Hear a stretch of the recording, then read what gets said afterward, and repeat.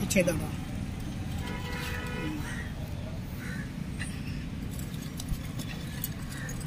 खड़ा